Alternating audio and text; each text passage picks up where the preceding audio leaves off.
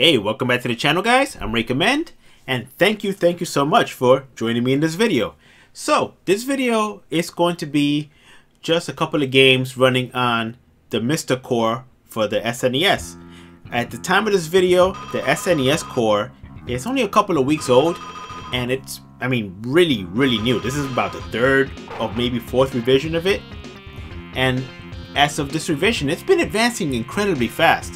For example, this revision just got support for DSP 1, 2, 3, and 4 games, support for CX4 games, support for SDD1 games, and that actually expands the library quite a bit. Many games, you know, you can you can actually play a lot of games without special chips already on MiSTer and this uh, SNES core, and they play pretty well. They're not perfect; it's still a very young core, but they play very very well for the most part. Now, S DSP games will give you things like Super Mario Kart and Pilotwings, which are you know fairly popular games that most people want to play. Uh, CX4 games, I believe, are Mega Man 2 and 3. And SDD1 games really only had two games, which I believe are Tales of Phantasia and Street Fighter Alpha 2. In this video, you will be seeing Super Mario Kart, you'll be seeing Mega Man X3, Street Fighter Alpha 2, and just two regular games, which which are Final Fight, and this is actually the arcade remix hack, which you're seeing on your screen currently, and Secret of Mana at the end, just because I love Secret of Mana, and I think every video should have Secret of Mana, and it's awesome music. So, as you can see here, Cody's walking around. It looks pretty good. I, I love this arcade hack. It's it's awesome. You know, it fixes up some of the colors on the enemies and stuff. But towards the end of the final fight footage, you're gonna see, you know, there's a couple of filter options which are pretty amazing as well. I'm not gonna run and go through all of them simply because there's just too many and you know you guys can see for yourselves how many there are and I just want to give a special thanks to uh, guys like Smokemonster, uh, Todd's Nerd Cave, and uh, RetroRGB for introducing me to the MiSTer project and you know just getting me behind this 100%. It's about 130 bucks, and what I'll do is I'll, I'll leave the links below. Definitely again check out the channels Retro RGB, Smokemonster, and Todd's Nerd Cave. They have a lot more information, and I'll be linking the wiki below if you guys are interested in finding more about this. Super Nintendo is not the only thing it can do. It can do Genesis, Sega Master System, ColecoVision, Commodore 64, Amiga, a bunch of old school arcade cores, and for 130 bucks, around 130 bucks, it, I think it's a great deal. It's easier to do than setting up a software emulator, at least in my opinion. If you can read the wiki and spend maybe 15 minutes getting it set up, it's the hardest part is actually getting your your SD card formatted. To you know, but other than that, once you do one core, the rest of them are pretty much drag and drop, which is amazing. So I'm gonna be quiet now and let you guys enjoy the footage, listen, watch carefully, and you know, if you're very familiar with some of these games, you can see how well this core runs.